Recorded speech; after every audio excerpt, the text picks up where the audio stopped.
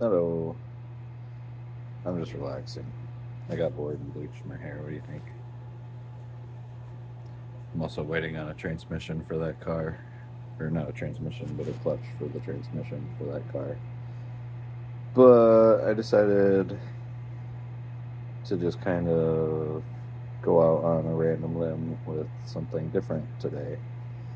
And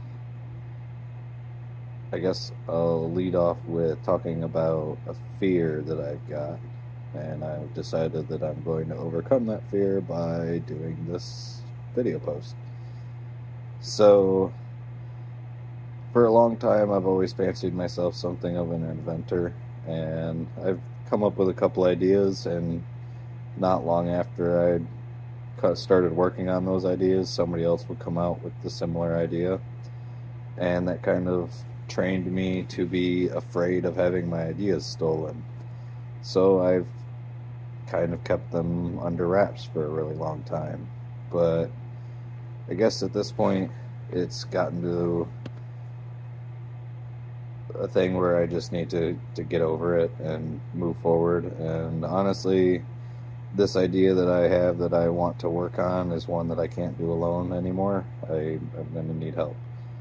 So let me kind of get into that. But for me to do that, let me kind of start from the beginning. Uh, something tells me I kind of need to do that to really get you the whole impression on where my mind is coming from. So, as a child, I have always had this belief that a car engine can run on water.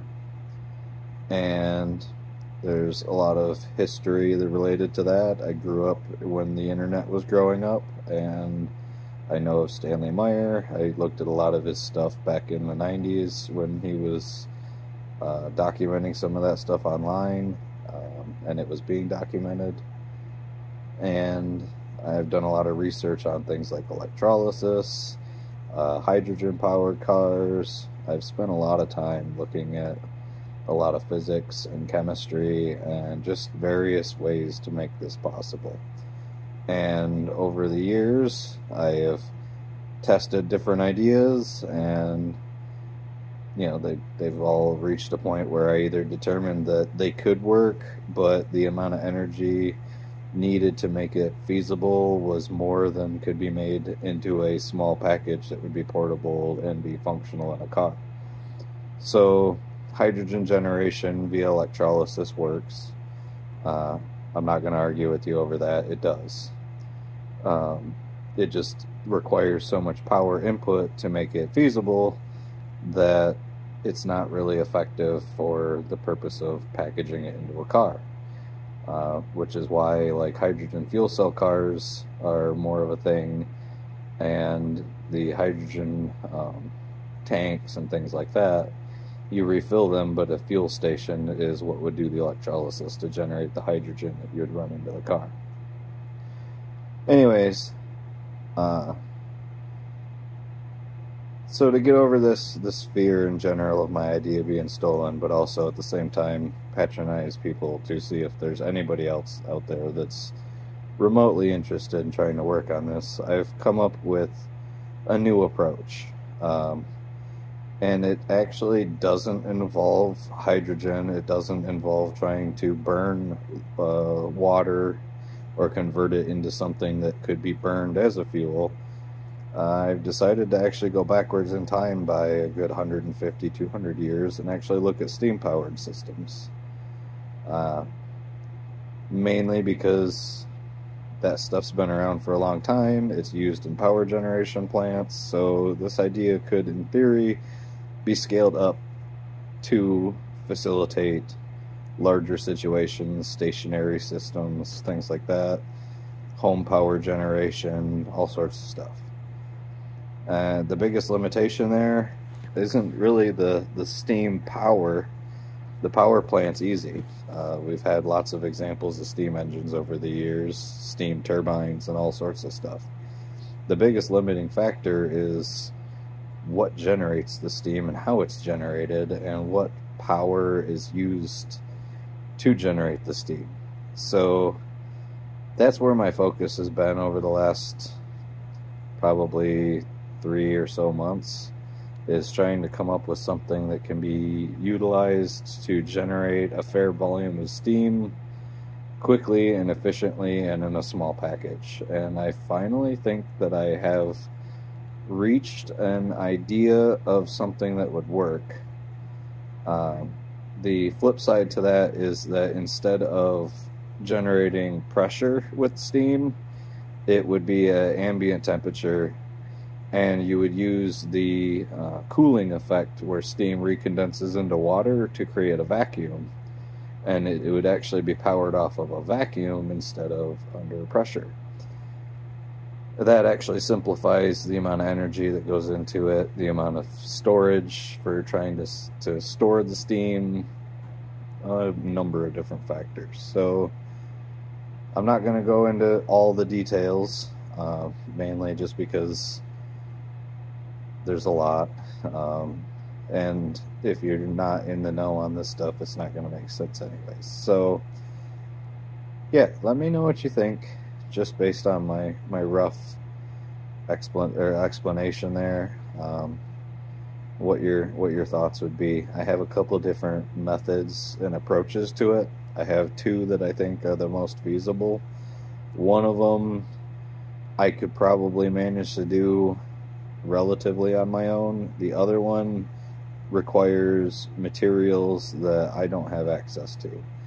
And no, I'm not talking about like nuclear or something like that. I'm talking about like ceramics and things like that that are outside of my my my price range. Uh, that type of stuff I would need like Musk money for. So I I would be needing somebody that is interested in playing with this concept that actually has a proper engineering background, has proper funding to be able to source materials. I mean, I'm not so much interested in making money myself in this idea. I just want to see it work. But I realize that the devil's in the details with that regard, and I need to have those resources to be able to afford the materials to make experimentation even possible. So, yeah, I would like to pursue my biggest childhood dream that I've experimented with since, gosh, I was like eight when I started into this idea, and I don't want to give up on it. I refuse to accept the fact that this isn't possible. And the concept of running on water for a car can mean a lot of different things. So, by standards, a steam-powered car is still a car running on water. Uh, no different than a car that's electrolysisly breaking down the molecules and burning them in a combustion chamber, stuff like that. So, for a long time, that was where I was stuck on. I was stuck with the trying to convert the water and burn it, and I've realized that that is just overly complicated and there will never be a point where, at least given current technology and materials, where breaking down the water, breaking those bonds because they're very strong and require a lot of energy to break, is technologically and fiscally feasible to do in a small package. At least one that would make it into a car that the common consumer could afford. So I think that this route with the amount of technological backing and mechanical engineering that's gone into steam engines over the years is highly feasible and a number of existing vehicles could actually be, be retrofitted to make it work using the existing engines. There's aspects of that that would need to be uh, worked out, like the the rusting due to the condensation and stuff like that. But that doesn't mean it's insurmountable, especially with more modern aluminum engines. So, uh, yeah, let me know your thoughts. This is a, a big thing for me to go out on a limb and put this out there. So, I'm, I'm curious to, to get feedback. Let me know. Love you. Bye.